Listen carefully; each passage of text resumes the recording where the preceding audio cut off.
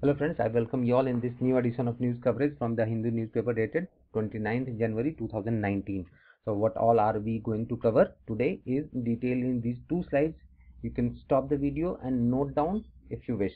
So let's start with the first article and that is related to Buddhist remains which is found at a uh,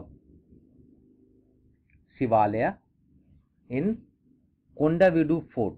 The news is Department of Archaeology and Museum has found Buddhist remains under the Garbhagriha that is Sanctum Sanctorum of Shivalaya at Kondavidu Fort.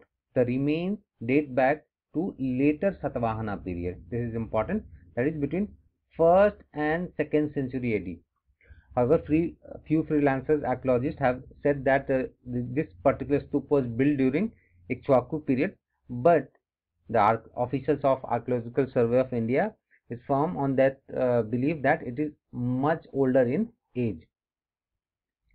Now, who were Satvahana? Let's quickly uh, recap. The Satvahana were an ancient Indian dynasty based in the Deccan region. Most modern scholars believe that Satvahana rule began in 1st century BC and lasted until the 2nd century CE.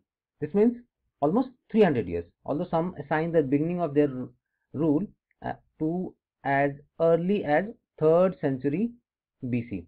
The Satvahana kingdom mainly comprised of the present-day Telangana, Andhra and Maharashtra. The founder of Satvahana dynasty was Simuka.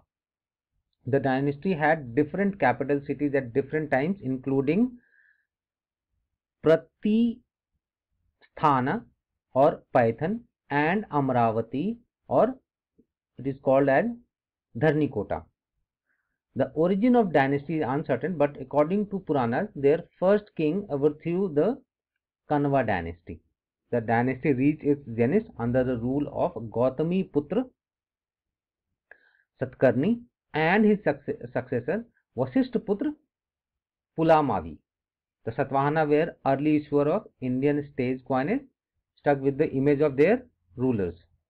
They supported Brahmanism as well as Buddhism and also patronized Prakrit uh, literature. This is important. Now we move to the next news that is in India can't handle more big cats. This this particular article is about tigers. So what are the important facts here? It is saying that in 2014 official figure of tigers in India were 2226 like 2226 and is expected to increase. But the head of global tiger tiger forum is saying that india has got capacity to keep tigers only in the tune of 2500 to 3000 and moreover they they are saying that already 25 to 35 percent of india's tiger are now living outside their protected reserves. Few important facts here are that india is the home of 70 percent of the world tiger population. In 2006, there were 1,411 tigers, which increased to 1,706 in 2011 and 2,226 in 2014. Now, it is expected to increase and that census of this particular year is ongoing. Total number of wild tigers globally was 3,891 in 2016 according to World Wildlife Fund and Global Tiger forum. This is this data you need to remember. Now we straight away move to the editorial. The first editorial is about Insolvency and Bankruptcy Code 2016 IBC and related disputes. So what is the news? Last week Supreme Court judgment upholding the validity of the Insolvency and Bankruptcy Code 2016 in its entirety could have a major impact in country's economic landscape and why is he saying that because of lot many companies which has gone bankrupt are non-functional and their asset is lying idle and which is ca causing non-performing asset uh, on the account of banks and that is causing lots of harm to the economy. So what is the dispute? What has been the dispute? Borrowers were never going to take that IBC lying down and that is exactly what happened. Over the last two years, they have challenged various aspects of this law in tribunal and courts. So what, what actually were they saying? what was the major dispute? One of the major challenge mounted against the IBC was operational creditors who owe money by the company in the normal course of operation for supply of goods and services. What is this uh, operational creditor? Let me explain you. Say if, the, if uh, there is a company maybe uh, related to steel, then those who are supplying coal or iron ore or limestone or oils, grease, fuels, those people are and spare parts, those are operational creditors because they are supplying uh, goods and services for the running of the operation of the company. In the payment waterfall prescribed under section 53 of IBC, in the event of liquidation of the company or its sale to another ent entity, their dues rank below those of financial creditors, workmen and employees. Here three points are important. What is this payment waterfall? See, the moment say there are 1000 rupees due and say the company has only 500 rupees so the payment waterfall says that the first person to get the due is financial creditor second would be workman and third would be employee. The fourth position would be of operational creditors. So basically there is a flow chart. I mean who will get first and who will get their due in the end is what constitutes the payment waterfall. So financial creditors are the, those who actually have lended money to start the company. Worksmen, you know, worksmen and employees are the part of the company. This was challenged by the operational creditor who wanted equal treatment with financial creditor in the waterfall mechanism. Now what court said with the Supreme Court now ruling that there are in intelligible differentia and what is this intelligible differentia difference capable of being understood. So there is a court is saying that there is a stark difference and you can actually differentiate between operational and financial creditor, creditors uh, an avenue that defaulters use to stymie proceedings and now that has been closed. Repayment of and why there is a difference the court has defined repayment of financial debt by borrowers infuse capital into the economy as lender can on lend the money that has been repaid to other entrepreneurs thus aiding economic activity. So that means say the bank in case the company was started by taking loan from the bank if they are not paid first then bank would not be able to lend money to other companies. So that way actually economic activity in the system is blocked.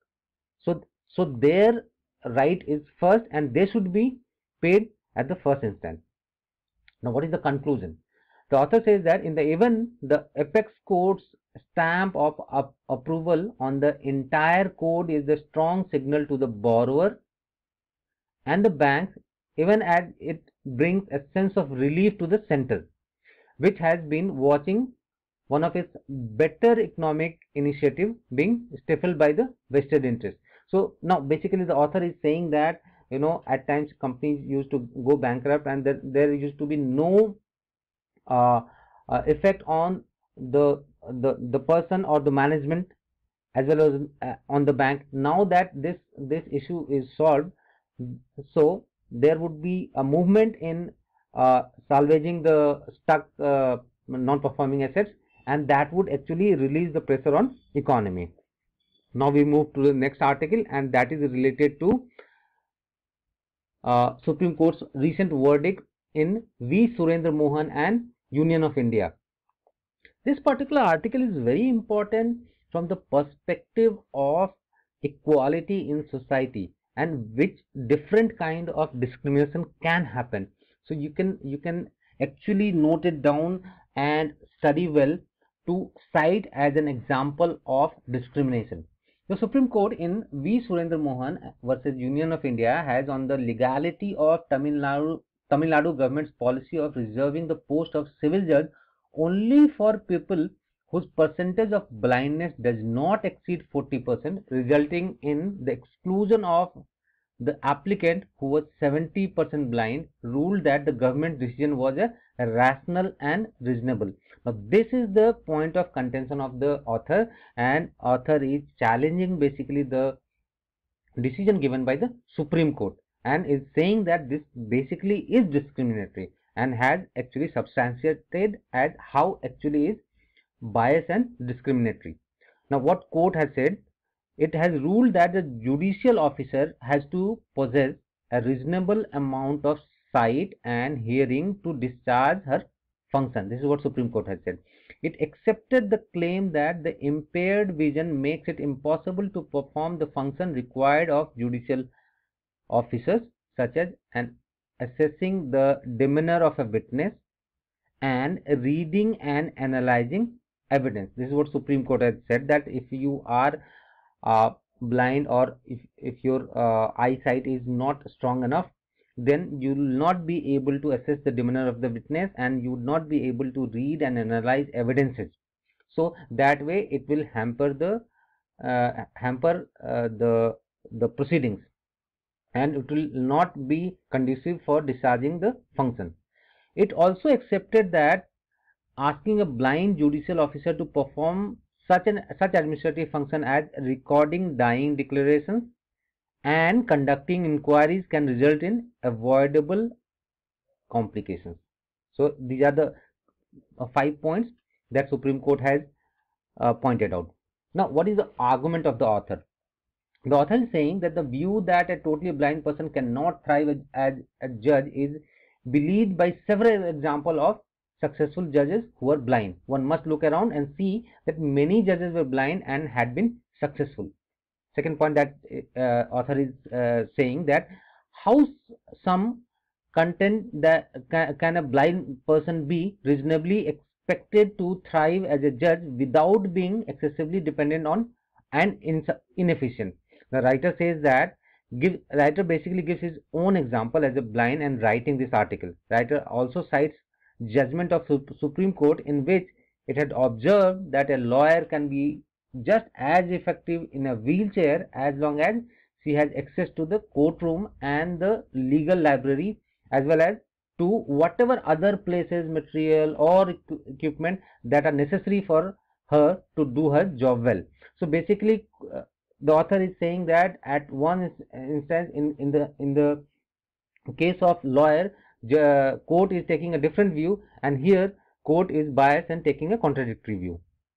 The author further is, is saying that it is simply unacceptable to condemn, uh, to condemn disabled legal professionals possessing the intellectual wherewithal to be a judge to the status of outcast only because the judge deli delivering the judgment in this case appears simply not to have bothered to notice the competence of millions of disabled disabled people who inhabit this world. So basically the the author is saying that the the judge who has delivered this judgment actually did not apply his senses to to actually witness and see how many competent people are there who who have excelled in their uh, uh, walks of life and who are blind or disabled it does not lie in our mouth to say that this is what author is saying we are truly committed to ensuring that the constitutional premise of equality is fully realized if we lack the ability to even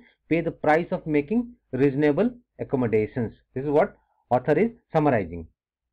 Now we move to page uh, page 9 and this related this is related to farm subsidy investment over subsidy and what is the argument a reconfiguration of public policy is needed to replace agriculture subsidy with investment so this time the author is arguing about changing our policy from farm subsidy to investment in agriculture. And how has he, he started this discussion? He actually has, has cited one uh, article in which it was suggested that all agricultural subsidies should be removed and that money should be equally distributed in to the farmers and uh, rural people. We are witnessing something akin to and this is what he's saying that we are witnessing something akin to lobbying for a universal basic income whereby uh, this, this this this type of article had come couple of weeks back you know, uh, and that is the crux of this uh, particular article, whereby every Indian citizen gets money paid into their bank account. It argues for the removal of all agriculture subsidies, which ranges from fertilizer subsidy to those on interest, water, power, and distributing the saving among the most rural, most of the rural population. So this is what universal basic income scheme that was proposed in the Hindu itself couple of uh, weeks back. And then the, the author of this particular article has picked up the point from here and built his own argument. And what the author is saying to evaluate what is being proposed as a way out of present agrarian crisis it would be useful to understand what defines it and to recognize the originally intended role of agriculture subsidy. So first thing that author has started that uh, to point out that first we need to understand why agriculture subsidy was started at the first place. So then only we will be able to appreciate as why to remove or or whether we should retain it and if we remove it what exactly should we do. So author is saying that at its core the agrarian crisis is the case of agriculture activity not yielding enough return for the for a section of farming population and why it happened due to fragmentation of land over a period of time and also because of increased population and which actually yielded into decreased pie from the yield. So basically land got fragmented so per capita land holding decreased because our uh, population of uh, this country also increased manifold. So that basically yielded into a decreased pie from the yield. Now, what is the solution to the problem? Now, he is citing two solutions. He is saying that there could be only two solutions. First, enable some member of the each house from each household to shift out of the farming or reconfigure public expenditure on agri agriculture to raise the yield of the land. And this is what the author is suggesting that we should first try to increase the yield of the land by investing in agriculture. And how would it serve the objective? A reconfiguration of public policy is needed to replace agriculture subsidy by capital formation or investment. For, for three and a half decades now, subsidies have progressively replaced public investment for agriculture. So basically our author is trying to make an argument that we have got a limited capacity of the fund. So if we are investing in subsidies, we basically would be reducing our investment and that he has given evidence for that.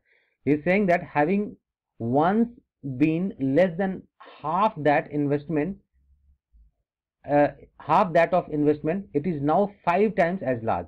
So basically the author is saying that the farm subsidy has in, increased fivefold. The impact of public investment on both the yield of land and the rural poverty encompassing a cohort wider than farmers is far greater than the fertilizer, electricity, irrigation and interest rate subsidy. So ba basically he's saying that this is far bigger uh, uh, you know spending than basically if you are trying to increase the yield of the land and try to uh, eradicate rural poverty. So your investment on increasing the yield of the land and eradication of rural poverty would basically need less than what you are investing right now through subsidies on fertilizer, electricity, irrigation and interest rate subsidy. He is further saying that agriculture subsidies that are now found wasteful were designed for a purpose. So it was not that it was mindless application of uh, farm subsidy. The earlier plan was to replace agriculture production on a to uh, uh, sorry the plan was to place agriculture production on a sound footing. It envisioned raising the yield of land which works to generate raising output without in inflation and with reasonable profit. So basically the subsidy was given to increase the yield but inflation should not increase and that's uh, and that way the pro, uh, profit should also increase and why it was needed because the price of food has historically been very high for Indians at the bottom of the income distribution. And this has held back the industrialization and desirable shifting of population away from farming and other activities and this is what the author is saying is the uh, side effect of providing agriculture subsidy. And that's why it is important that we should gradually reduce the or eradicate the subsidy and should start investing in agriculture because that that is the way we would be able to proceed on industrialization and uh, we would be able to shift the population away from farming and other activities farming to other activities. Now the next article is learning to probe early. This is related to basically uh, our undergraduate uh, curriculum and the lack of uh, people lack of you know uh, focus in that particular area so what is the finding? The finding is while india has made a considerable stride in achieving a near perfect enrollment rate in primary education it has actually failed to give higher education much attention. And uh, the author has cited uh, data.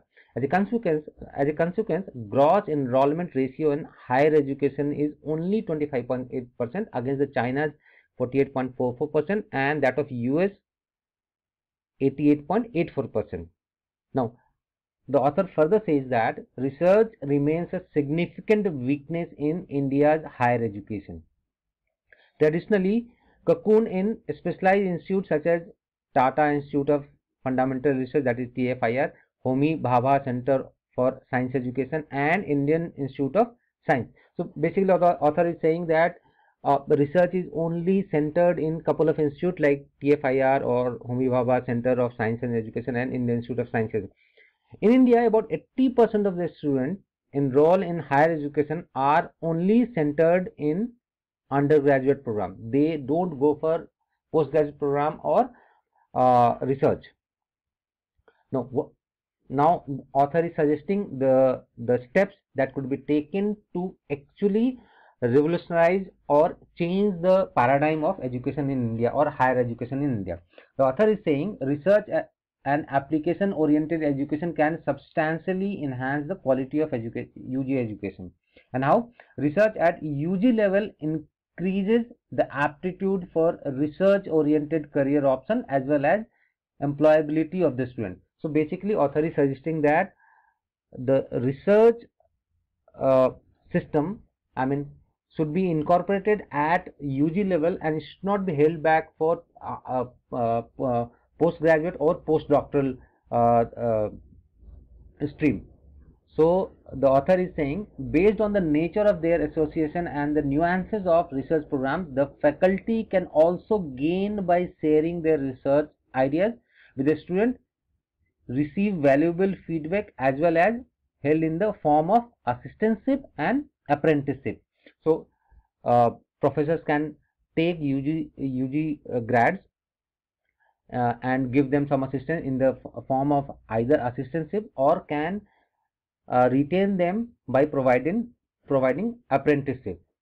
Further, it is saying that introducing and sustaining the culture of research at the level of UG can also help solve problem of shortage of faculty. So, the moment the graduate, undergraduate students start investing themselves in research, they would be, uh, they would also become eligible and qualified enough to, to work as faculty which we are lacking in our institutions as more students would likely opt for doctoral and postdoctoral studies and teach in their home country which mm, right now we are lacking. Now what are the strategic steps that uh, the author has suggested? First investment in education needs to meet the world standard of at least 6% of GDP. So the author is suggesting that we should first increase our investment in education to upgrade infrastructure, labs, and resources which are essentially to carry out high quality research. Further it is saying that University Grant Commission that is UGC and other regulatory body will have to come out with a priority list to a list of reputable, uh, uh, reputable journals. Right now there are lot many bogus journals. That's what author is saying. This will read of country of the problem of bogus journals and publication. So we will be getting some quality research paper published in quality journals that will actually enhance the image of the country as well as will give a quality platform to the researchers. Research institutes such as TIFR, IISc should mentor some well-performing universities and colleges till they become aware of the nuances of conducting fair and high quality research. So, TFIR and IISc type of institute should adopt good quality institute. It further says that UGC should make it compulsory for a student to submit at least 5000 word research paper. Basically, the very idea behind this particular suggestion is that they should do extensive research. So, minimum word limit should be pushed to 5000 word. That should be assessed just as publication in serious research journal are. Unless students are made aware of the value of research from an early stage, they will not recognize the true value of higher education. So, so basically this kind of approach would actually propel students to go for higher education and that would generate interest in them to pursue higher education. That is postgraduate and doctoral, post, uh, doctoral and postdoctoral thesis. Now we move to the next article at page 18 that is GM chicken may lay cheaper medicine. The article says that genetically modified chickens that produce human protein in their eggs can offer cost effective method for manufacturing drugs widely used for treating cancer and other disease. Basically uh, protein based medicines are, are used for treating cancer. The article says that eggs are already used in growing viruses that are used as vaccines such as flu jab. This is important for, for your pre. Please remember this particular article is important for your science tech in mains. The team has initially focused on two proteins that are essentially the immune system and has therapeutic potential. The first is the human protein called IFN alpha 2A which has powerful antiviral and anti-cancer effect and the human and pig version of protein called macrophage CSF which is being developed as a as a therapy that stimulates damaged tissue to repair themselves. So the first protein that is this immune uh, that uh, handles the immune system is IFN alpha 2A and the second one that is therapeutic that has therapeutic potential is basically this one macrophage CSF. Now the article says that protein based drugs which include antibody th uh, therapies such as Avastin and Herceptin are widely used for treating cancer and other other diseases. This is this also might be important for your pre point of view. For some of these proteins, the only way to produce them with a sufficient quality involves mammal, mammalian cell culture. This is the this is one technique that is quite prevalent uh, nowadays, which are expensive and have low yield, and the other method that requires complex purification system and additional processing techniques, which are which raises cost. This approach is efficient and can produce better yield. Why? Because uh, uh, a normal chicken would yield 300 uh, around 300 eggs in a year and that can produce substantial amount of proteins required for treating these uh, uh, treating cancer or other diseases. Now we go to next article that is non-communicable disease top killer. That is what WHO says. And what is non-communicable and which all non-communicable uh, disease these are mainly cardiovascular diseases, chronic respiratory diseases, diabetes and cancer. And this continues to be the top killer in Southeast Asian region, SAARC region, claiming 8.5 million lives each year according to WHO. One third of these deaths are premature and occur before the age of 70, affecting economically productive individuals. The four major NCDs are caused to a large extent by four modifiable behavior risk factors and that is tobacco use, unhealthy diet, insufficient physical activity and harmful use of chemical uh, alcohol.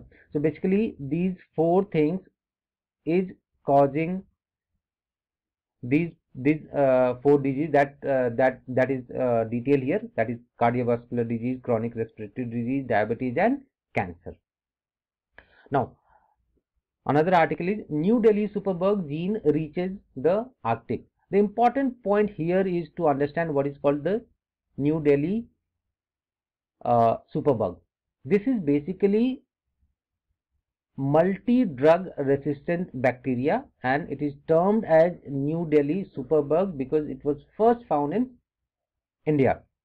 Now, the NDM1 enzyme was named after New Delhi, the capital city of India as it was first described by Young and all in December 2009 in Swedish national who fell ill with an antibiotic resistance bacterial infection that he acquired in India. Although this is quite debatable but still that's how the name came. The infection was identified as the carbapenem resistant and this is the this is this is a kind of pneumonia i mean uh, uh, infection. Strains bearing the novel gene called BLA NDM 1 and this this particular part is important from your pre point. You might be asked what is this, this BLA NDM1 or this it's it's a common name that we or this or you can say the colloquial name is New Delhi metallo beta lactam lactamase 1 so this was all for today's uh, news analysis. We'll be uh, discussing tomorrow's newspaper again. So thank you very much